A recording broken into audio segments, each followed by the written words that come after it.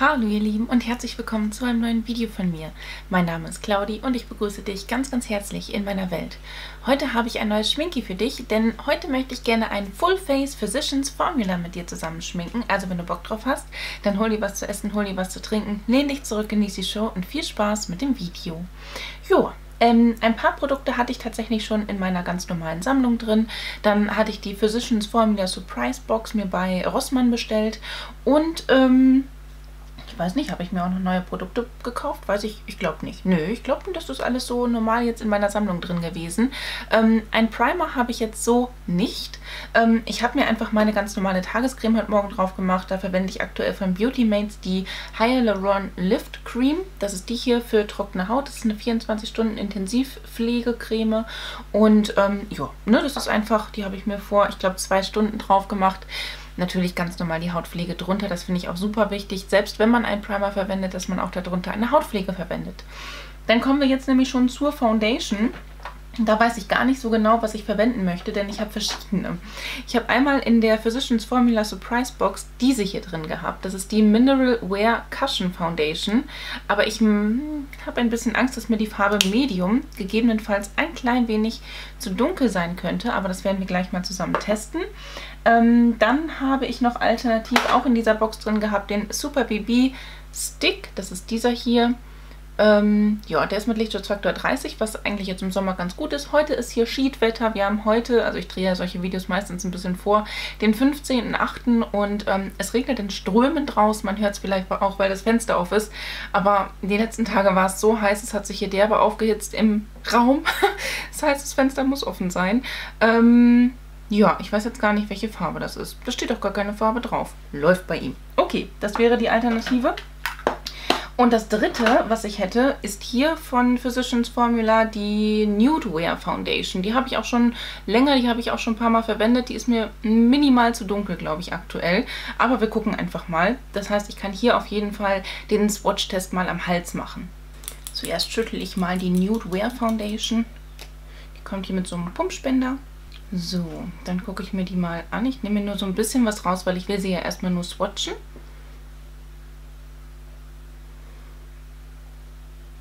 Die könnte fast schon farblich passen. Also wie gesagt, die ist ein bisschen dunkel. Ne? Man sieht es auch, ja, am Hals ist es richtig krass. Okay, alternativ schauen wir uns mal den Stick an. Der ist nicht unbedingt heller. Der ist ja richtig dunkel auch, ne? Oh mein Gott. Und dann swatche ich hier die Cushion, Cushion Foundation. Eieieiei. Es ist alles relativ dunkel. Aber ich glaube, am passendsten wäre jetzt tatsächlich meine ganz normale Nude Wear Foundation und die werde ich jetzt auch verwenden. Jetzt muss ich natürlich, weil ich hier so ein bisschen mich jetzt abgeschminkt habe, ein bisschen was von meiner Tagescreme, Schrägstrich meinem Primer-Ersatz nachlegen, weil ich jetzt ja quasi da einfach nichts mehr auf der Haut habe und ich da einfach wieder ein bisschen Pflege brauche.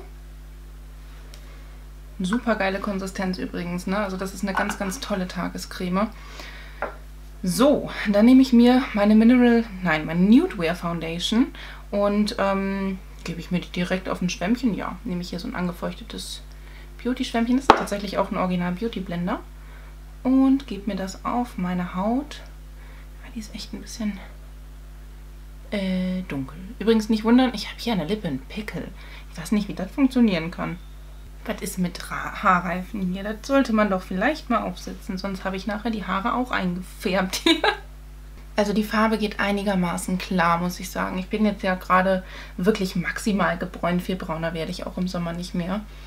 Ähm, wenn die jetzt nicht passen würde, dann müsste ich auch so langsam mal überlegen, die auszusortieren, weil dieses Jahr bin ich wirklich ja, außergewöhnlich braun geworden, was ich gut finde, weil ich viel draußen war. Viel im Garten, viel mit Sammy draußen. Es ist eigentlich die Farbe Light von der Foundation her. Ja, weiß nicht. nicht so ganz light, aber es geht klar. Also es ist jetzt nicht so, als würde ich jetzt ganz schlimm aussehen. Ne? Im Sommer ist es auf jeden Fall meinem Hautton entsprechend, aber wenn man wirklich, also wenn ich die jetzt im Winter auftragen würde, wäre sie mir viel zu dunkel. Ja, komm, aber es geht klar. Also ich finde jetzt, dass die Foundation ganz gut aussieht, dass sie auch schon irgendwie passend ist, ne? Also doch, ja, jetzt mit der aktuellen Hautsituation bei mir auf jeden Fall. Ähm, Deckkraft ist wirklich leicht. Es ist eine Nude Wear Foundation, das heißt wirklich sehr, sehr natürlich. Ähm, meine Unreinheiten scheinen noch durch, meine Muttermale scheinen durch, meine Sommersprossen scheinen durch. Was ich aber nicht schlimm finde, sie gibt einen leichten Glow, also sie lässt die Haut auch schön frisch aussehen und sie lässt sich wirklich toll ausblenden. Ich finde sogar, dass sie so einen leichten, ich weiß nicht, ne, Kupferglow nicht, aber so ein shiny Finish macht es auf jeden Fall. Und die gefällt mir wirklich gut. Also die habe ich auch schon äh, in einem Make-up-Kit ganz normal von mir so drin gehabt. Da war sie mir aber ein bisschen zu dunkel. Das heißt, ähm, ich müsste sie theoretisch jetzt in mein Make-up-Kit packen. Genau, und äh, die finde ich echt super. So, jetzt möchte ich einen Concealer verwenden. Das ist halt der passende zu der Foundation, ne? der Nude Wear Concealer. Das ist dieser hier und der müsste auch in der Farbe Light sein. Oh, super flüssig. Uiuiui. Nochmal kurz hier mit dem Schwämmchen drüber. Das fließt mir an den Seiten so runter, das macht ja auch keinen Sinn. Ich nehme das auch direkt hier als ähm, Lidschattenbase, ne? Weil ich habe keine Physicians Formula Lidschattenbase mir rausgesucht.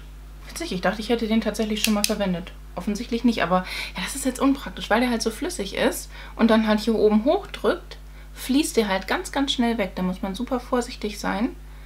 Und ähm, die Deckkraft ist jetzt nicht so hoch, deswegen gebe ich mir auch mehr Concealer als sonst auf. Er erinnert mich auch ein bisschen von der Deckkraft her an äh, den Dr. Pierricot Luminex Pert ähm, Concealer, den ich eine ganze Weile hatte und jetzt leider letztens aussortieren musste. Ähm, super leichte Deckkraft, super, super angenehm, super flüssig und einfach super. Also das könnte ein würdiger Nachfolger werden als Sommerconcealer für mich. Und wir haben Mitte August, also wenn nicht jetzt, wann dann? Man sieht jetzt nicht den ultra krassesten Effekt des Lebens, aber es ist ein, ja, natürlicher und schöner Effekt. Also mir gefällt's. Wir pudern, wir pudern. Da habe ich kein klassisches Puder, da habe ich in der, mh, mm, nicht letzten, sondern vorletzten Physicians Formula Box oder ich glaube in meinem Full Face, ich weiß es nicht, ähm, die Super BB Cream, nein, Super BB Powder-Geschichte drin gehabt. Das ist dieses hier, habe ich in der Farbe Light to Medium. Habe ich auch eine ganze Weile einfach als Puder verwendet. Da habe ich auch eine schöne Kuhle schon drin. Und du hast hier theoretisch, wie auch bei den ganzen anderen Physicians Formula Produkten, die so rund sind, hier noch äh, ein Spiegelchen. Dann hast du hier so ein Lochvieh, wo du dann deinen Pinsel reinpacken kannst. Einfach für so Touch-Ups zwischendurch, sage ich mal. Nehme ich mir jetzt einfach mal so einen großen, fluffigen Pinsel. Ne, muss halt aufpassen, weil das Kram hat halt jetzt auch noch Deckkraft. Und damit pudere ich jetzt einfach mal mein ganzes Gesicht ganz vorsichtig ab. Der Concealer und das, äh, die Foundation wird dadurch ein bisschen gesettet. Und wie gesagt, aufpassen aufgrund der Deckkraft, weil ich will jetzt nicht noch mehr Deckkraft. Wobei eigentlich ist die Foundation und der Concealer dezent von der Deckkraft. Dann könnte man das, wenn man möchte, noch ein bisschen mit aufbauen. Aber wir wollen es nicht übertreiben. Doch, also das gefällt mir jetzt tatsächlich sehr, sehr, sehr vom Finish. Also farblich passt es gerade richtig gut und also alles so in Kombination zusammen. Und äh, vom Hautbild her gefällt mir das. Das ist alles sehr zurückhaltend, aber trotzdem ist was da. Cool. Dann nehmen wir jetzt einen Bronzer. Das ist der Klassiker, ne? Butter Bronzer. Ich weiß gar nicht, in welcher Farbe der ist, weil ich habe noch die Version, wo keine Farbe drin steht. Den trage ich mir jetzt mit demselben Pinsel auf, mit dem ich eben abgepudert habe. Der ist super leicht. Also der ist jetzt nicht zu intensiv von der Farbe her. Lässt sich dann dementsprechend auch schön aufbauen. Aber man ähm, bekommt damit kein fleckiges Ergebnis. Das finde ich einfach sehr angenehm. Man sieht ihn jetzt auch nicht so ultra intensiv, was ich aber auch nicht schlimm finde. Man sieht ihn jetzt heute mit der etwas passenden Foundation tatsächlich fast gar nicht.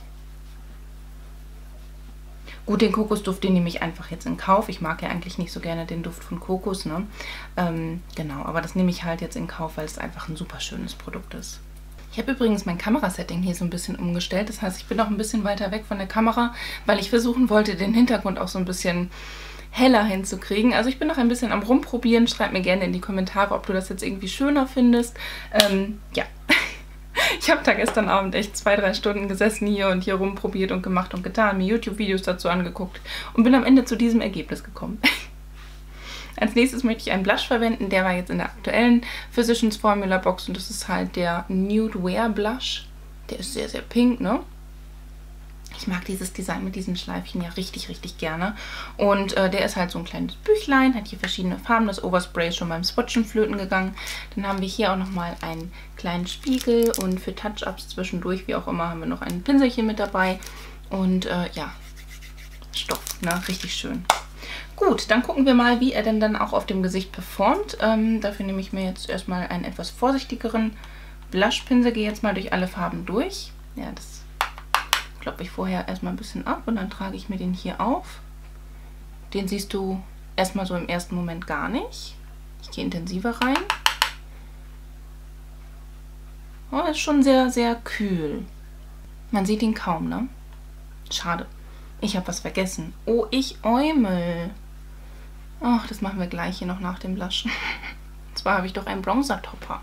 Naja, aber so spart man sich halt auch so ein bisschen den Highlighter, weil wir hier ähm, so ein bisschen durch dieses Kühle und durch die, diesen leichten Schimmer, der da mit drin ist, halt auch so ein bisschen einen Highlighter-Effekt bekommen. Ich persönlich trage Blush hauptsächlich hier auf, aber ich verblende den noch überall so ein bisschen mit hin, damit das Ganze halt auch so ein bisschen harmonischer aussieht, weil wenn ich rot werde, werde ich tatsächlich auch meistens im ganzen Gesicht rot und nicht nur so punktuell und ähm, das ahmt man ja mit Blush auch ein bisschen nach, ne? Ja, da siehst du wirklich nicht so viel von. Das ist sehr, sehr Nude Wear, wie der Name schon sagt. Okay, ist jetzt nicht mein Favorite Blush, ne? Aber gut. Ähm, ich möchte jetzt trotzdem gerne den Bronzer Topper verwenden, der auch irgendwie, der ist als Bronzer bezeichnet, ein Bronzer Booster quasi. Das ist dieser hier. Ähm, jo, den finde ich hübsch. Airbrushing Bronzing Veil heißt das. Sanfter Bräuner mit Airbrush-Effekt. Okay, also ich trage mir den wirklich ganz, ganz vorsichtig auf. Ähm, hier auch wieder ne, Spiegelchen, Pinselchen, Löcher, Viecher. Overspray war intensiver. Darunter ist er jetzt halt schimmernd, aber nicht... Ja, der ist halt stark pigmentiert. Ich habe ein bisschen Angst. Merkt man das? oh mein Gott. Ich glaube, ich nehme dafür wirklich den Blushpinsel. Mache den hier vorher so ein bisschen am Handtuch sauber. Und ähm, gebe das so ein bisschen als Bronzer-Topper drüber. Wow. Okay. Ich klopfe das hier so ein bisschen in die Pinselhaare ein, damit sich das Produkt ein bisschen besser verteilt. Das mit so einer ganz leichten Hand nochmal darüber, wo ich eben auch gebronzt habe. Ein bisschen Effekt sieht man aber jetzt nicht so intensiv, aber ich habe jetzt auch wirklich gerade sehr, sehr vorsichtig gearbeitet.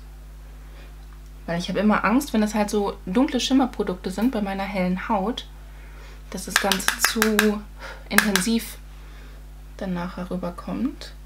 Also es macht schon einen Glow. Doch. Das sieht auch schön aus und das kann ich mir auch im Sommer wirklich vorstellen, weil im Sommer mag ich gerne diesen bronzy glowy Look. Ne? Aber intensiver als jetzt hier würde ich es auch tatsächlich gar nicht auftragen wollen, weil mir das dann zu intensiv werden würde, glaube ich. Ne? So lasse ich das jetzt auch. Ja, doch. Also eigentlich mag ich den Butter Bronzer solo sehr, sehr gerne, aber wenn man das jetzt so sieht, ähm, vor allem wenn ich die äh, passende Foundation-Farbe drauf habe, macht so ein Bronzer-Topper schon ein bisschen Sinn. Genau, vor allem weil ich keinen Highlighter hier habe. Jetzt widmen wir uns den Augenbrauen. Da habe ich auch allerhand Produkte da und zwar wirklich drei Produkte. Ich glaube, ich habe mir nie selber irgendwie ein Produkt davon geholt, wobei vielleicht dieser Feather Brow, das weiß ich jetzt gerade nicht mehr. Ähm, genau.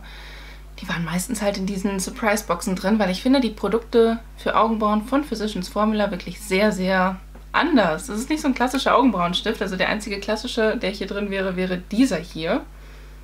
Oh, meine Augen jucken.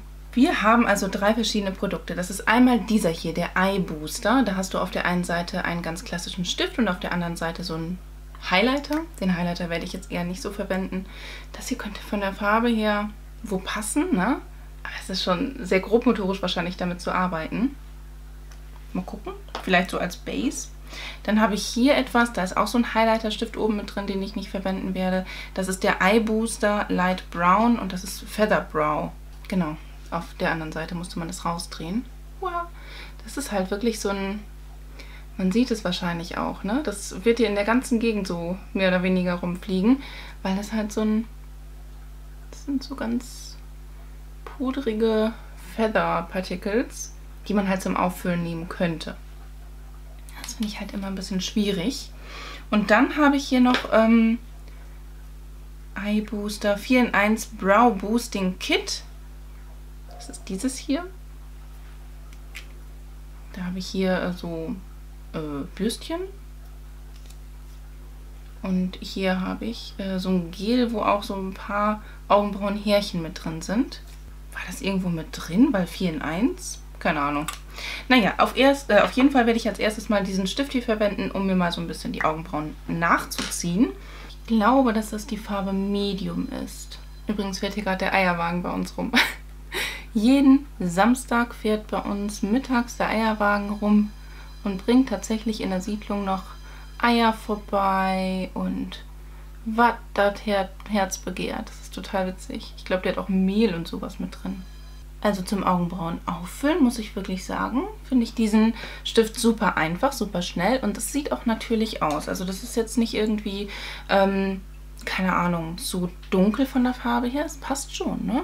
Bei dem Stift muss man wahrscheinlich aber ein paar Mal häufiger anspitzen, weil der halt wirklich dick vorne dran ist, ne? Und wenn du den halt runtergerockt hast, dass du den ordentlich oft benutzt hast, dann ist der vorne nicht mehr so fein und dann kannst du halt nicht mehr präzise damit arbeiten. Das könnte dann schwierig werden.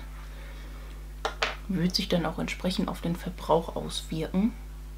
Jetzt habe ich die einfach mal so ein bisschen aufgefüllt. Theoretisch würde ich das jetzt so lassen. Deswegen werde ich jetzt auch auf diesen Feather Brow Stick ähm, verzichten und ähm, mir dann einfach diesen hier nehmen. Ne? Weil wenn ich die jetzt noch mehr mit Farbe füllen werde, wird mir das nicht gefallen. Ist halt auch leicht eingefärbt, da muss man ein bisschen aufpassen, dass man, wenn man nicht ganz präzise definierte und gezupfte Augenbrauen hat, dass man da nicht außen drumherum so viel kommt, weil ansonsten färbe ich mir hier oben meine Stirnhaare mit ein. Aber von diesen künstlichen Härchen, die da drin sein sollen, sehe ich jetzt auf dem Auge ehrlich gesagt nichts. Jetzt habe ich da so einen öseligen Fleck. Ist auch nicht schön. Naja, so, so will ich es jetzt einfach mal lassen, ne? Jo. Also Augenbrauenprodukte von Physicians Formula überzeugt mir eigentlich, mich eigentlich nur dieses hier. Ich glaube, die anderen beiden werden mich auch verlassen, weil ich greife da so ungern zu, ne? Ja, und Foundation-technisch werden mich die anderen natürlich auch verlassen, weil ich bin jetzt ja maximal gebräunt und wenn das hier als die hellste von den dreien, ach, die anderen, ich werde sie nochmal testen, aber ich glaube, die werden mich eher verlassen. Ihr seid ja schon so nah dran, dann bleibt ihr jetzt auch so nah dran. Und zwar verwenden wir jetzt eine Lidschattenpalette. Das ist diese hier. Das ist die Extreme Shimmer Shimmer Strips Eyeshadow and Liner Palette in der Farbe Copper Nude. Ja, Endliner, weiß ich echt nicht, was die damit meinen. Ne? Ich hatte die schon mal. Ich habe die aussortiert. Ich weiß gar nicht warum. Jetzt ist sie wieder da. Jetzt darf sie wieder ver ver verwendet werden, nicht versendet. Ein Spiegelchen haben wir hier witzigerweise nicht drin. In allen haben wir die drin, nur nicht hier, ne? Da wo man es eigentlich echt bräuchte. Das sind nur Schimmertöne, deswegen gehe ich jetzt äh, einmal in das Puder rein, um ähm, meine Lider zu setten. Und ich gebe mir was von dem Butter Bronzer in meine Lidfalte rein, weil ich brauche immer irgendwas in der Lidfalte, einfach so als Übergangsfarbe.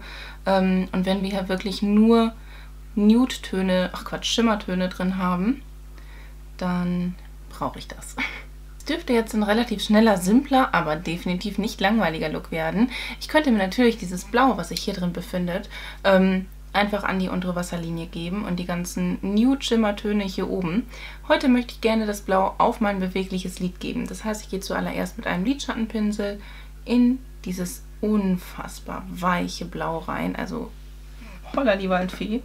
Und den gebe ich mir direkt hier auf mein Zentrum. Der ist krass, der ist richtig krass, aber wunderschön. Das ist wirklich eine ganz, ganz tolle Qualität. Also ich bin jetzt ähm, einmal ordentlich reingegangen und einmal so ganz dezent. Und ähm, ich finde, dass es ebenmäßig aussieht. Es sieht nicht fleckig aus, es sieht schön aus. Es ist ein tolles, strahlendes Aquamarinblau. Und ähm, ja, für den Sommer, da darf es einfach ein bisschen strahlender, ein bisschen bunter sein. Mag ich das wirklich gerne. Doch. So, jetzt möchte ich mir gerne eigentlich am liebsten meine Lidfalte hier nochmal verblenden, aber das machen wir nachher. Ähm, ich gebe mir jetzt noch weitere Töne mit hier drauf und zwar ähm, möchte ich gerne hier in die innere Seite, in mein inneres Drittel, diesen Ton hier geben. Das ist auch so ein schöner schimmernder Champagnerton, wobei je nachdem wie das Licht drauf fällt, ist er auch gerne mal etwas güldener.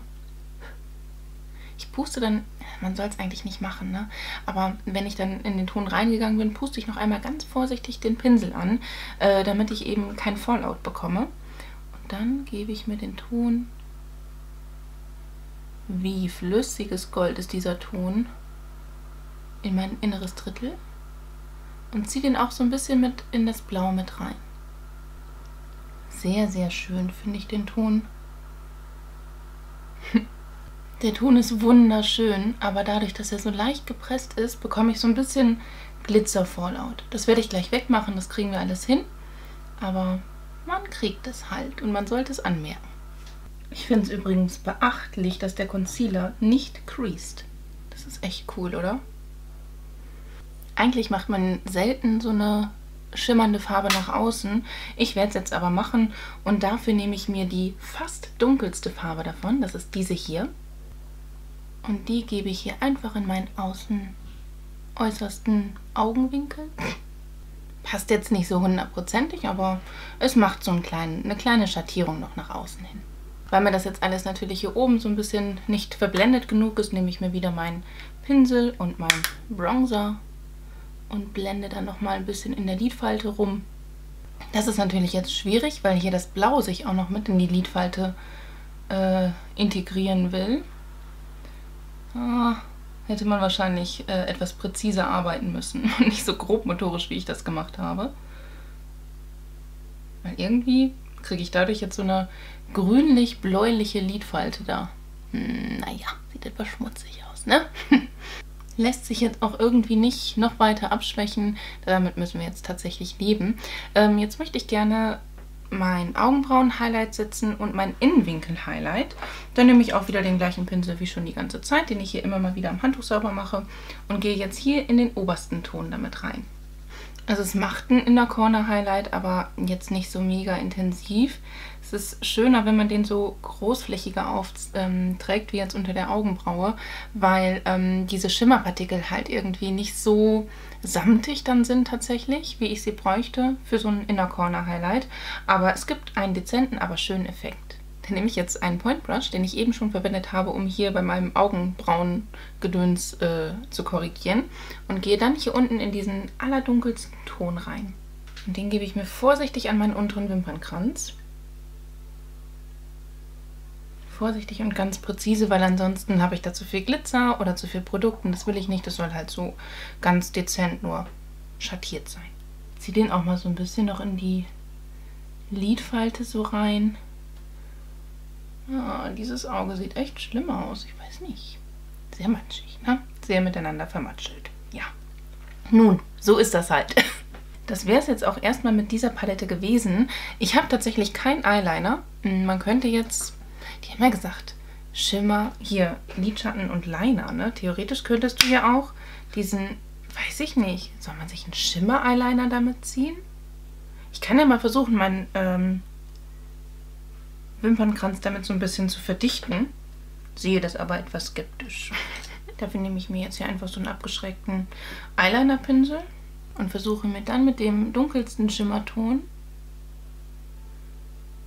meinen Wimpernkranz einfach nur zu verdichten. Ich mache jetzt kein Wing oder so. Da kommt nicht so viel, ne? Also es verdichtet es ein bisschen. Ja, aber haut mich jetzt nicht vom Hocker doch. Weil so intensiv ist die Pigmentierung jetzt nicht, dass man da ähm, groß was sehen würde, oder? Naja, lassen wir es mal so stehen. Mascara. Mascara rettet alles meistens. So, ziemlich. Da habe ich jetzt die Organic Wear Mascara. Das ist diese hier. Die finde ich ganz schick, ne? Die war auch in der Box mit drin. Bei dieser Mascara habe ich aber immer das Problem, also ich hatte schon eine andere davon, die war mir zu trocken. So ein Gummibürstchen und das sieht auch wirklich super trocken aus. Das ist jetzt nicht irgendwie, das ist also für mich nicht ganz so vertrauenserweckend, weil das, also wir gucken mal. Riecht übrigens angenehm. Ohne Mascara. Erste Schicht. Zweite Schicht. Dritte Schicht. Es ist traurig, oder? Ich finde es wirklich traurig. Also ihr wisst, was Mascaren normalerweise mit meinen Wimpern machen. Wawawum Lashes. Ich sehe nicht mal meine Wimpern. Also das ist wirklich traurig. Und ich habe gepatzt. Ich patze sonst nie. Und selbst wenn ich das Mascara vorlaut entferne, sieht das immer noch furchtbar aus, oder? Ähm, ja, ich werde mir da auf jeden Fall gleich nochmal am Ende des Videos eine andere Mascara drüber geben, einfach damit ihr sehen könnt, wie der Look überhaupt aussehen kann, weil das geht ja gar nicht. Mm, ich habe jetzt aber noch was ganz Intensives und zwar ein Lippenprodukt. Es ist rot. Ich finde, man darf es tragen. ähm, das ist der Fight Free Radicals The Healthy Lip Liquid Lipstick. Viele schwärmen davon. Ich komme mit der Textur nicht so ganz zurecht. Und Leute, der ist wirklich intensiv. Riecht so lala. Und den trage ich mir jetzt zuallererst mal auf. Ohne Lip Liner. Oh mein Gott. Ach so, ich habe eben ein Päckchen bekommen. Steht da so im Hintergrund. Also der Lippenstift oder dieser Healthy Lip Liquid Lipstick ist irgendwie ganz cool. Die Lippen bappen noch ein bisschen aufeinander, aber es ist so, so schwer, den aufzutragen. Das nächste Mal, wenn ich den auftrage, brauche ich auf jeden Fall ein ähm, Lip Liner. Gut, jetzt hier unten mit dem Pickelchen, was ich hier habe, wird es so oder so unförmig. Aber ähm, ich finde, dass es an und für sich schön aussieht. Also das ist mh, mir ein bisschen zu trocken, weil ich mag das ja lieber, wenn ich das Ganze so ein bisschen... Ich brauche dann Gloss oder sowas drüber, aber das kann man ja alles noch machen. Ne? Ist ja nicht so, dass man das nicht darf. Ähm, schönes Lippenprodukt, doch. Aber ich mag nicht so gerne. Es ist so samtig. Es ist jetzt nicht so super trocken, es ist samtig. Genau. Jetzt mache ich mir aber tatsächlich ähm, meine Lieblingsmascara, meine aktuelle vor allem Lieblingsmascara drüber. Das ist von It Cosmetics, die Superhero Mascara. Warum sage ich eigentlich immer It Girl dazu? Weiß ich gar nicht. Das ist die Superhero Mascara. Denn so können wir das einfach nicht stehen lassen, finde ich. Das ist so traurig. Ja. Guckt euch mal den Vergleich an, wenn ich nur eine einzige Schicht von der It Cosmetics Superhero drüber gebe. Das ist intensiv, oder? Ja. Das würde ich dem Look auf jeden Fall doch mehr, oder? Ich mag diese Wimperngeschichte einfach so viel mehr. Also ich wollte jetzt auch einfach nur mal demonstrieren, wie es theoretisch aussehen könnte, wenn eine vernünftige Mascara mit in dem Look integriert gewesen wäre. Ebenfalls zu Demonstrationszwecken. Ihr mögt das ja ganz gerne, wenn ich einfach zum Ende des Videos mal dann die Haare aufmache. Dass man einfach sieht, wie das dann quasi in, im Gesamtbild aussehen würde. Das sieht schon schön aus. Also mir gefällt das sowieso, wenn ich so ein grünes Oberteil anhabe und dann so rote Lippen dazu. Ich finde, dann passt das auch mit diesem blauen Augenlook dazu, weil dieses Blau ist ja auch ein Bestandteil von Grün. Und dann habe ich noch die blonden Haare und irgendwie ist das alles dann doch ziemlich harmonisch, finde ich. Und Leute, das ist jetzt mein fertiger Look mit den Produkten von Physicians Formula. Ich würde sagen, das ist de definitiv durchwachsen, aber es ist mal einen Blick wert, im wahrsten Sinne des Wortes, dass man sich die Produkte anschaut. Etwas, was ich absolut empfehlen kann, ist natürlich der Klassiker Butter Bronzer, die Foundation. Den Concealer finde ich schön, wenn man das halt ein bisschen natürlicher mag. Ich bin jetzt ehrlich gesagt auch ein bisschen begeistert von diesem Augenbrauenstift, weil das einfach Ne, das passt halt sehr, sehr schön gerade. Ja, Puder kann man sich auf jeden Fall anschauen. Die anderen Produkte so, hm, aber äh, ja, doch, ne? Das Gesamtbild stimmt auf jeden Fall. Und wenn euch das Video gefallen hat, dann lasst mir doch sehr, sehr gerne einen Daumen nach oben da. Würde ich mich mega drüber freuen. Ansonsten wünsche ich dir einen wunderschönen Tag, einen wunderschönen Abend. Lass es dir ganz einfach gut gehen. Fühl dich ganz doll gedrückt von mir. Ich verlinke dir mal hier oben meine Playlist mit den ganzen Style Talk Videos. Hier unten meinen neuesten Upload auf dieser Seite noch ein Video von mir.